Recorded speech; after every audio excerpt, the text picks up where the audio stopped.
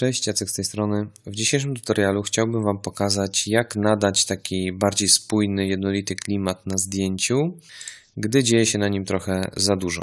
To jest nasze zdjęcie surowe, wywołane z RAWa ze zwiększonym zakresem dynamicznym. Po prostu ściągamy trochę prześwietleń, podciągamy cienie i robimy taki neutralny balans bieli. A po dodaniu moich tutaj warstw, ustawień i trochę maskowania, co w sumie zajmie nam może z 10 minut, mamy taki efekt. Także jeżeli jesteście ciekawi, jak doszliśmy do tego momentu, to gorąco zapraszam. A dla zainteresowanych jeszcze wspomnę, że na moim sklepie Jacek Fotopelu ma na sklep. Mam również tutorial bardzo zaawansowany o color gradingu, w którym bardzo dokładnie opisuję wiele różnych warstw dopasowań, jak one oddziałowują na nasze zdjęcie, różne tryby mieszania, jak możemy je ze sobą łączyć i wspominam tam też o teorii koloru i używaniu kolorów. Link oczywiście znajdziecie w opisie. A my przejdźmy może do retuszu właśnie tego zdjęcia. Usunę sobie moje warstwy i pokażę Wam krok po kroku, jak dojść do takiego klimatu. Zacznijmy może od nadania takiej jednej warstwy, która związałaby kolorystycznie całość w trochę ciepłym klimacie. To jest to, co ja lubię nazywać golden contrast, czyli warstwa czarno-biała, po prostu taka zwykła, z tintą taką właśnie sepiową na mieszaniu miękkie światło i przezroczystości powiedzmy 20%. Teraz mamy przed i po, przed i po. Całe zdjęcie po prostu dostaje kontrastu i zafarbowania. Jeżeli chcemy to bardziej podkreślić, to po prostu bardziej nasycony ten odcień beżu, pomarańczu możemy dać, także ja sobie zrobię coś takiego. Jeżeli nawet chcemy, to możemy trochę manipulować oczywiście tymi suwakami, żeby tutaj jakoś sobie pomóc tym kontrastem. To jest na 20% już na miękkim świetle, także pewne zmiany, które tutaj wprowadzimy, będą po prostu mniej widoczne niż na 100%, ale pierwsza warstwa, którą ja sobie rzucę, to jest coś takiego i to po prostu delikatnie ociepla mi całe zdjęcie i dodaje kontrastu, bo tak zdjęcie standardowo jest nie tyle płaskie, co po prostu ma dużo, duży zakres dynamiczny, bo ja tak lubię wywoływać zdjęcia do późniejszej obróbki i wtedy lubię trochę kontrastu dać tutaj. Jeżeli spojrzymy na histogram, nie ma ekstra mega czarnych elementów, po prostu jest trochę zwiększony kontrast. I teraz możemy zacząć bawić się też e, w różne inne takie lokalne rzeczy. To, co na przykład widzę, to na krześle jest mega niebieskie światło, tak samo za oknem, a w pokoju jest wszystko ciepłe. Wezmę może sobie Selective Color na, to będzie na kanale niebieskim, albo może rzeczywiście będzie to na cyjanie, trochę, trochę delikatnie jest na cyjanie i spróbuję sobie ten cyjan doprowadzić może do takiego trochę może przyciemnie.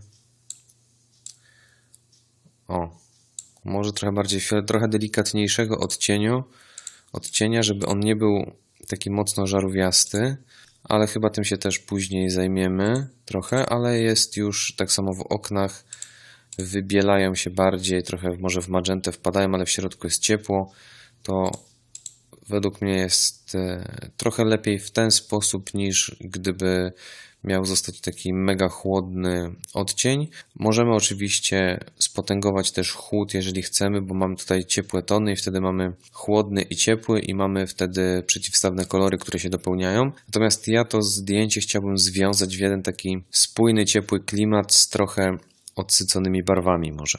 A żeby trochę odsycić barwy, to też tak jak tutaj dodaliśmy e, czarno-białą warstwę z tintą, tak samo możemy dać czarno-białą warstwę o mieszaniu miękkie światło i na przykład obniżyć ją na jakiś tam mniejszy procent, niech będzie o powiedzmy 25 i teraz mamy jednoczesne zwiększenie ponowne kontrastu, ale też odsycenie koloru, dlatego że tutaj mamy już tylko czarno-białą, nie mamy tutaj te, tego zafarbowania, także tutaj wchodzi nam brak koloru pod ten kontrast i delikatnie wszystko odsyca i zaczyna się robić też coraz bardziej klimatycznie. I idąc dalej z obróbką tego zdjęcia, ja chciałem dodać takich cieplejszych tonów i możemy to zrobić na kilka różnych sposobów. Ja lubię to robić krzywą na kanale niebieskim, a wszedłem w czerwony. Na kanale niebieskim mm, odejmuję niebieskiego, przez co dodaję żółci w całym zdjęciu, ale na kanale czerwonym dodaję trochę czerwieni, przez co po prostu żółty z czerwonym jak się połączy to daje mi pomarańczowy. I całe zdjęcie jest od razu cieplejsze. Także mamy taką krzywą, która ociepla nam całość, wypełnia wszystko po prostu ciepłym światłem. I teraz powiedzmy kontrastowo i kolorystycznie niektóre elementy mam w takim klimacie, jakbym chciał. Zrobię sobie przed i po, przed i po, ale wciąż trochę za bardzo denerwuje mnie kontrast między tymi chłodnymi elementami a resztą. To chciałbym to znów związać jakoś właśnie w całość i fajną opcją na taką desaturację jest e, taki filtr Orange and Teal, który podpatrzyłem u Martina Benesa albo Benesha, e, używając channel mixera. I jest to przejście na output channel niebieski i zrobienie czegoś takiego. Tutaj w czerwonym dajemy minus 50, w zielonym dajemy 150, a w niebieskim dajemy 0. I w tym momencie zauważcie, mamy taki trochę orange and teal, bo wszystkie chłody wpadają w takie powiedzmy trochę seledynowe barwy, ale na tym zdjęciu akurat one się fajnie odsycają. Co prawda skóra jest tutaj bardzo taka ujednolicona, uróżowiona. W ogóle całe zdjęcie wpada teraz fajnie taki monochromatyczny klimat, a te chłodne elementy stają się jakby szare. Natomiast ja to sobie odwrócę i to co tutaj zrobię to po prostu wezmę sobie duży pędzel biały okryciu powiedzmy nawet 90% i sobie o odmaluję te wszystkie elementy, które tutaj mi tak mocno wpadają jakoś w oko. Tu super, o tej lampce trochę. I teraz mamy właśnie trochę bardziej ujednolicony cały ten kadr dzięki czemu zdjęcie po prostu jest bardziej spójne. Pomimo tego, że te kolory były dopełniające chłodny z ciepłym, to dla mnie one za bardzo odwracały akurat uwagę, ale też to oparcie krzesła wciąż wydaje mi się takie trochę zbyt jasne, dlatego wezmę sobie może krzywą i obniżę ogólną ekspozycję całego zdjęcia. I teraz wejdę sobie dwukrotnie klikając w puste miejsce przy nazwie krzywej wezmę sobie, wejdę w e, właściwości warstwy i tutaj mamy te suwaki blend if. I teraz te suwaki blend if działają w ten sposób, że ja sobie z suwaka od warstwy poniżej przesunę zakres, w którym wszystkie warstwy poniżej zaczną być widoczne nad moją tą warstwą. Dzięki czemu, jak widzicie, gdy przesuwam właśnie ten trójkącik z lewej strony, odsłaniam wszystko w cieniach, co jest w warstwach poniżej. Tutaj na tym na tej warstwie krzywych przyciemniłem całość i tutaj wpadają pewne elementy w czystą czerń.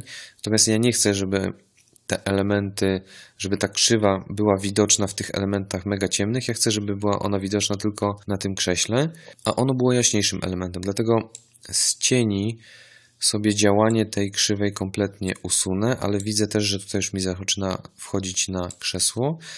Teraz z przytrzymanym altem, jeżeli ja kliknę na ten trójkąt, to go rozszczepię, rozszczepię i mogę kontrolować zakres tej widoczności tej warstwy, dzięki czemu te przejścia już będą takie gładkie, a nie takie ostre jak poprzednio były. Jeżeli zacznę z tej strony schodzić, z jasności, no to pierwsze co widzicie to to, że z okna mi schodzi ta krzywa, to jest logiczne, ale mi chodzi o to, żeby na krześle ono zostało, także z jasnych elementów niech sobie zostanie, mi chodzi o te ciemne, żeby tutaj wokół tego krzesła po prostu odzyskać te informacje.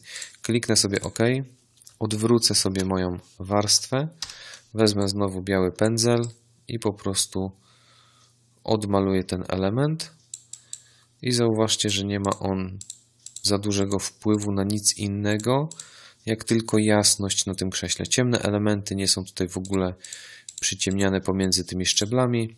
Skupiamy się tylko i wyłącznie właśnie na tych jasnych elementach. Gdybym chciał Mógłbym też przyciemnić okno, ale okno akurat może tutaj sobie być, bo jest jasne, jest naszym źródłem światła, natomiast to krzesło mi trochę przeszkadzało. I teraz, żeby skupić się bardziej na tej postaci na zdjęciu, chcę jeszcze rozświetlić twarz naszego modela, dlatego sobie wezmę jakąś warstwę, która po prostu zwiększy mi ekspozycję na jego twarzy i wezmę warstwę ekspozycji.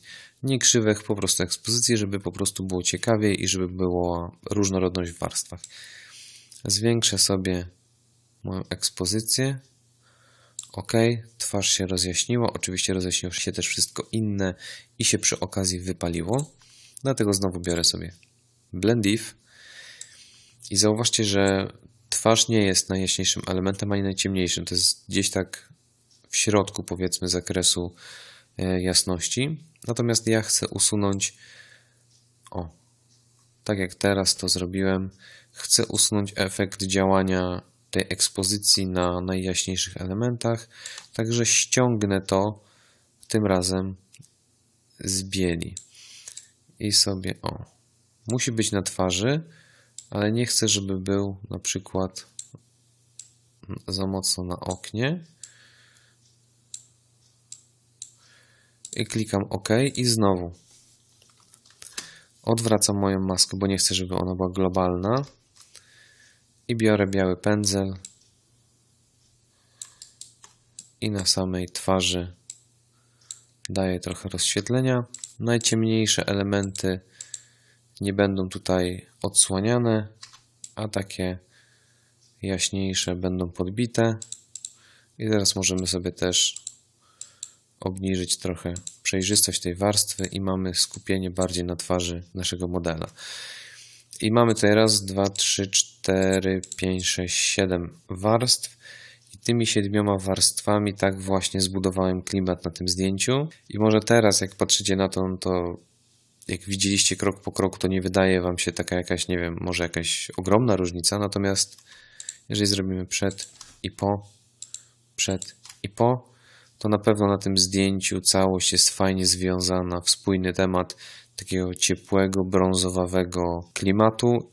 Usunęliśmy kilka rzeczy, które po prostu rozpraszały nas właśnie na tym ujęciu. Także wydaje mi się, że to jest fajny zabieg. Jest to oczywiście sporo warstw, natomiast jeżeli macie oczywiście kilka podobnych kadrów, zawsze możecie te warstwy po prostu skopiować na inne zdjęcie i wymaskować odpowiednie elementy. Sami widzieliście, że tutaj nie było nie wiadomo jak dużo maskowania, ja po prostu to myszką przejechałem kilka razy pędzlem. Także to mamy efekt przed i po, przed i po.